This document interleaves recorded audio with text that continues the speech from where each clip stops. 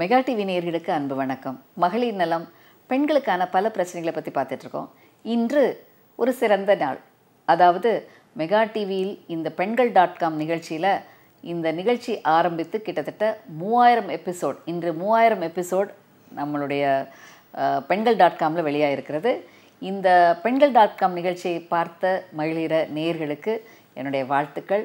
உங்களுடைய அன்பான ஆதரவு இதை கண்டு நீங்கள் பயன்பெற்று எங்களுடைய ஷேர் பண்ண உங்களுடைய கருத்துக்கள் இவை அனைத்தும் இந்த நிகழ்ச்சியின் சிறப்பான அம்சமாகும். இந்த நிகழ்ச்சியில் யூடியூப்பில் பார்த்து இதை ரசித்து இதை பற்றி பலவிதமான சந்தேகங்கள் தீர்த்த பெண்களின் எண்ணிக்கை மிக மிக அதிகம். பெண்கள் மட்டும் இல்லை ஆண்களும் கூட இந்த நிகழ்ச்சியை பாராட்டியிருக்காங்க. இவை அனைத்துக்கும் உங்களுடைய நல்ல ஒரு கருத்துக்கள் வந்து எங்களுக்கு இது ஒரு ஊக்கமாக இருக்கிறது. இதை மேலும் நல்ல முறையில் நடத்த உங்களுடைய ஒத்துழைப்பு கண்டிப்பாக தேவை. யூடியூப்பில் பார்த்த நேயர்களுடைய பலருடைய சந்தேகங்களை இதில் நாங்கள் வந்து ஷேர் செய்தது எங்களுடைய சிறப்பான அம்சம். மெகா டிவியை தொடர்ந்து காணுங்க. இதன் மூலம் உங்களுடைய வாழ்க்கையில் குழந்தையின்மை மற்றும் பெண்களுக்கான பிரச்சனைகளுக்கான தீர்வுகளை எங்களுடன் கலந்து இதை பற்றி தெரிந்து கொள்ளுங்கள் இன்று நேர்கள் தங்கள் பிரச்சனைகள் சந்தேகங்களை கடிதங்கள் இமெயில் யூடியூப் மூலமாக எழுதியிருக்காங்க. நேர்களின் பிரச்சனைகளுக்கான விளக்கங்களை இந்த நிகழ்ச்சியில் காணலாம். முதலாவது வசந்தகுமார் என்ற நேயர் எழுதியிருக்காங்க. வணக்கம் டாக்டர். என் பெயர் வசந்தகுமார். என் மனைவி கருத்தரித்து ரெண்டு மாத நிலையில் கருவில் இருக்கும் குழந்தைக்கு ஹார்ட் பீட் அதிகமாக இருக்கிறது என்றும் அதை குறைக்க வேண்டும் என்று மாத்திரை கொடுத்தார்கள்.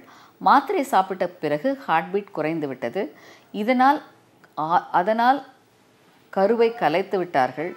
மீண்டும் கரு உண்டாக ஹீமோகுளோபின் அளவு குறைவாக இருப்பதாக சொல்கிறார்கள்.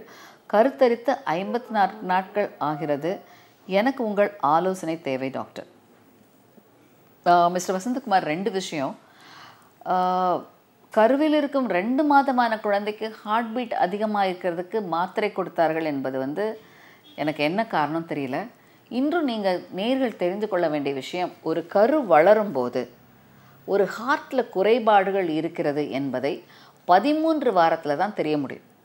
இரண்டு மாதத்தில் இந்த ஹார்ட்டில் ஒரு குறை இருக்கிறது என்பதை நம்மளால் தெரிந்து கொள்ள முடியாது.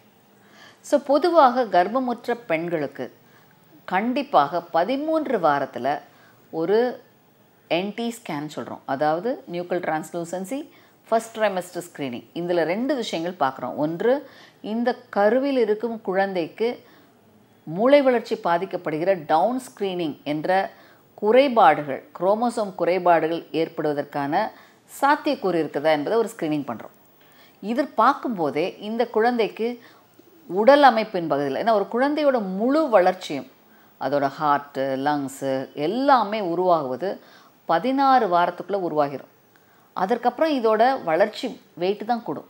ஸோ இந்த பதினாறு வாரத்துக்குள்ளே இந்த பதிமூன்று வாரத்தில் ஹார்ட்டில் உள்ள முக்கியமான chambers major blood vessels form ஆயிரும். ஸோ இந்த வகையில் பதிமூன்று வாரத்தில் ஒரு குழந்தையின் ஹார்ட்டில் குறைபாடுகள் இருக்கா என்பதை கண்டுபிடிக்க முடியும். நீங்கள் சொல்கிறது ரெண்டு மாதத்தில் அதாவது டூ மந்த்ஸில் தெரிந்ததுன்னு சொல்கிறீங்க இது வந்து ஹார்ட் பீட் கூடுவது குறைவது மிஸ்டபாஷன் சொல்லுவாங்க. ஒரு கரு எட்டு வார கருவாக இருக்கும்போது ஹார்ட் பீட் அதிகம் குறைவு என்பது ஹார்ட்டில் குறைபாடுனால வரணுன்ற அவசியம் இல்லை. இது அபார்ஷனாக போகும்போது இந்த மாதிரி பிரச்சனைகள் ஏற்படலாம்.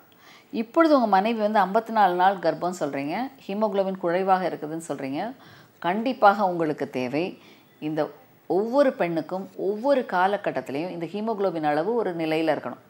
குறிப்பாக முதல் மூன்று மாதத்தில் ஒரு பத்து மேல் இருக்கணும். ஒரு சோகை என்பது வந்து பதிமூன்றுக்கும் குறைவாக இருந்தாலே சோகை தான் ஆனால் நம்ம நாட்டு பெண்களை ஆவரேஜாக எல்லாருக்கும் பத்துலேருந்து பதினொன்று தான் ஹீமோகுளோபினே இருக்கிறது.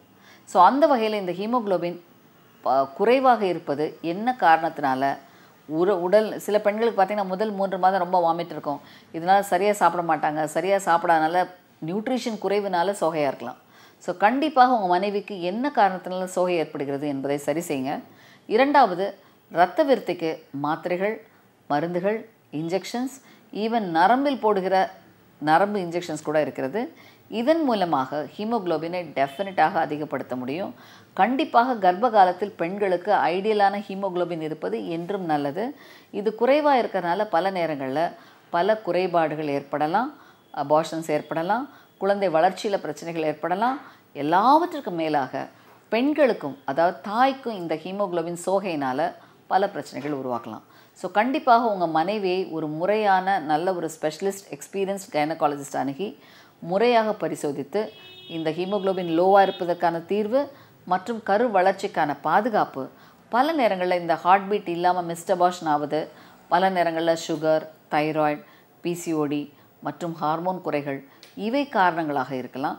இதில் என்ன காரணம் என்பதை தெரிந்து அதையும் சரி செய்து கொள்ளுங்கள் ஆரோக்கியமாக குழந்தை பேர் பெற முடியும்.